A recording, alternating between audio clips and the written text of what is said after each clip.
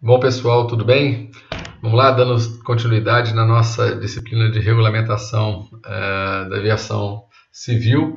Agora falando do, do, último assunto em relação à ICAO, vamos ver, vamos ver alguma coisa é, bastante específica com relação às publicações e às normas. É, é um assunto bastante curto, uma aula bem curtinha, mas não menos importante que as demais. Muito do que a gente vai ver agora, a gente já tratou nas aulas anteriores, então é mais uma forma de é, revisarmos e reforçarmos o conhecimento já visto. Então, as principais publicações da ICAO. Os anexos, né, que contêm as próprias SARPs, né, as práticas e métodos recomendados, as PA NS, PANS, ATM, procedimentos para serviço é, de navegação aérea e os procedimentos suplementares regionais. Okay?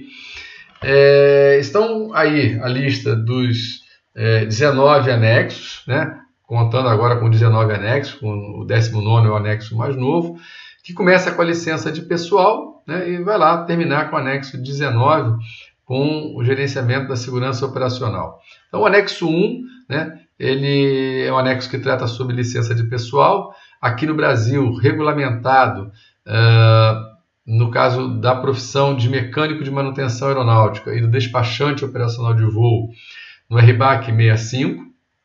O anexo 2, que fala de regras do ar. Anexo 3, serviço meteorológico. Anexo 4, cartas aeronáuticas. Anexo 5, unidades de medida.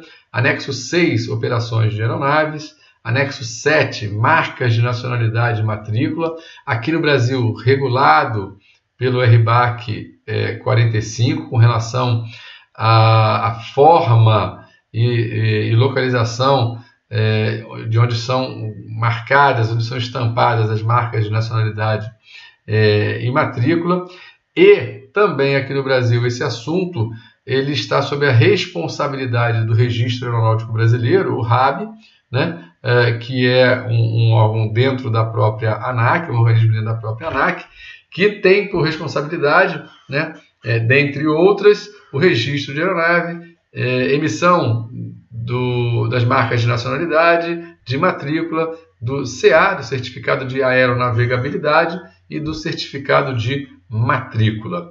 Ok? Depois a gente tem o anexo 8 falando sobre aeronavegabilidade, o anexo 9 falando de facilities, o anexo 10 falando de telecomunicações aeronáuticas, o anexo 11 de serviços de tráfego aéreo, o anexo 12 de busca e salvamento, que é uma responsabilidade aqui no Brasil sobre o encargo do Comando da Aeronáutica, uh, anexo 13, investigação de acidentes aeronáuticos, que também está aqui no Brasil sob encargo do Comando da Aeronáutica, através é, do CENIPA, né? Uh, anexo 14, aeródromos. Anexo 15, serviço de informações aeronáuticas. Anexo 16, proteção do meio ambiente. Anexo 17, segurança contra interferência ilícita. E aí também aqui no Brasil nós temos dois regulamentos que vão tratar desses procedimentos contra atos de interferência ilícita, tanto para operador aéreo, um outro específico para aeródromos. Né? o anexo 18, transporte de material é, perigoso, né? e o anexo 19, que é o anexo mais recente da ICAO, o gerenciamento da segurança operacional. Ok? Então, esses são os 19 é, anexos é, à Convenção de Chicago. Né? É, esses anexos contêm essas, essas práticas e métodos recomendados é, pela ICAO. Tá bom? Muito bem. É, as PANs ATM, que são procedimentos para o serviço de navegação aérea, documentos que complementam os anexos, né, detalhando regras e procedimentos, e não possuem a mesma rigidez é, dos anexos. E aí, como exemplo desses documentos, nós temos aí o, o DOC é, 4444, que fala do gerenciamento do tráfego aéreo, o 8168 de operações de aeronaves, né? o, o 9756 né? é um, um manual de investigação é, de acidentes e incidentes de aeronaves, né? e o 9859, que é o próprio SMM, né, o Safety Management Manual. Então, eu vou abrir aqui um exemplo para vocês. Está aí o DOC 9859, né, Safety Management Manual, e traz aqui para a gente né, todas as informações referentes a, ao sistema de gerenciamento da segurança operacional com o enfoque da ICAO. Ok? Esse documento é base para que as, os Estados-membros é, definam como vão desdobrar o, o gerenciamento da segurança operacional dentro de cada um dos estados. Tá ok?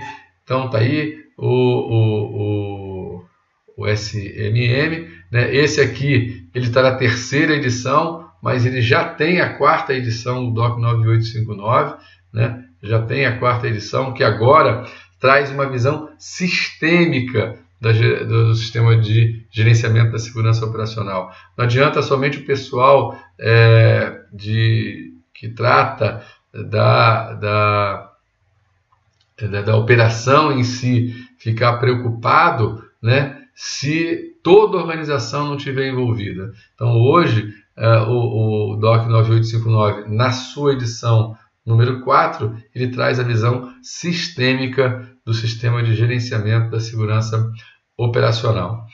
As SUPs, procedimentos suplementares regionais, publicações que são preparadas com base nas conferências regionais é, de navegação aérea, com a finalidade do atendimento de necessidades de determinadas regiões. Então, é, são documentos direcionados para características de uma determinada região. E aí trazemos aqui para vocês é, esse é, documento, né, essa SUP, que fala sobre um, um, determinado procedimento em relação à operação no Atlântico Norte. Né? Então, é, essa é a ideia é, desse documento: trazer ah, para a, a orientação de um procedimento que é atinente a uma determinada região. Ok? Muito bem. É, como eu havia falado para vocês, essa é uma aula bem curtinha, mas que fecha todo o assunto em relação à ICAO. Né? É importante que vocês revisem todas essas aulas, de forma que esse assunto fique bastante é, sedimentado para vocês. E agora, na próxima aula, a gente entra na aviação civil no Brasil, ok? Então aguardo vocês lá na próxima aula, né? É, antes de entrarmos na aviação civil no Brasil, é importante que é, tudo sobre CAL esteja bastante sedimentado. Então, revisitem essas aulas, assistem as aulas, assistam às aulas, né, de forma que a gente agora avance para o próximo assunto e, e nos preocupemos a partir de então tão somente com o tema da aviação civil no Brasil. Tá ok? Aguardo vocês na próxima aula. Um grande abraço e vamos lá.